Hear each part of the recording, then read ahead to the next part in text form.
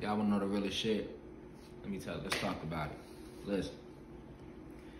They say life is just a lesson. Every day is a blessing. They plot my assassination. They fear the truth in my message. Some say the brain's a muscle, but rarely do people flex it, deflecting all of their lies because the art of war is deception. Misleading all the youth and we help them out through our music. Rapping about popping pills, got them running around acting stupid. It's cool to tell the shorties about drugs long as you school them. Tell them the football numbers they giving for drug movement. They come and know what laws contradicting the constitution just went into martial law. We in need of a revolution. But rappers got these deals and they scared that they probably lose them. The children are the future, but these the minds we polluting. Really talking about God, but always talking about crack. Scared to pick up a book, but we quick to pick up a Mac. Who thought the day would come where we kill each other for scraps? Hate all the folks we should love, but love the ones that hold us back?